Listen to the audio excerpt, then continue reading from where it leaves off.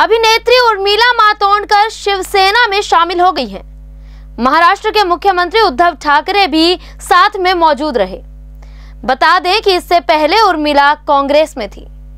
उन्होंने पाँच महीने के भीतर कांग्रेस छोड़ दी थी। आपको बता दें कि अभिनेत्री उर्मिला मातोंडकर ने आज यानी मंगलवार को शिवसेना का दामन थाम लिया। महाराष्ट्र के मुख्यमंत्री उद्धव ठाकरे की मौजूदगी में पार्टी में शामिल हुई। बता दें कि उर्मिला के शामिल होने की जानकारी संजय राउत के अलावा महाराष्ट्र के मुख्यमंत्री उद्धव ठाकरे के करीबी सहयोगी हर्षल प्रधान ने भी दी थी। साल 2019 में कांग्रेस के टिकट पर उन्होंने लोकसभा चुनाव लड़ा था और बाद में पार्टी छोड़ दी।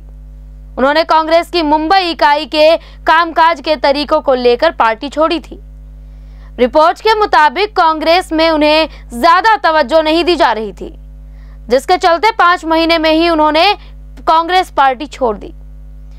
बता दें कि उर्मिला को शिवसेना विधान परिषद में भेजना चाहती है। बताया जा रहा है कि उर्मिला को अपने कोटे से उम्मीदवार बनाया गया है। साल 2019 में कांग्रेस पार्टी में रहते हुए उर्मिला ने मुंबई उत्तर से लोकसभा चुनाव लड़ा था। हालाँकि उस वक्त उन्हें हार का सामना करना पड़ा था। उन्हें उस वक्त भाजपा के गोपाल शेट्टी ने हराया था। ऐसे ही लेटेस्ट खबरें पाने के लिए बेल आइकन को क्लिक करें हमारे चैनल को लाइक शेयर एंड सब्सक्राइब करें। धन्यवाद।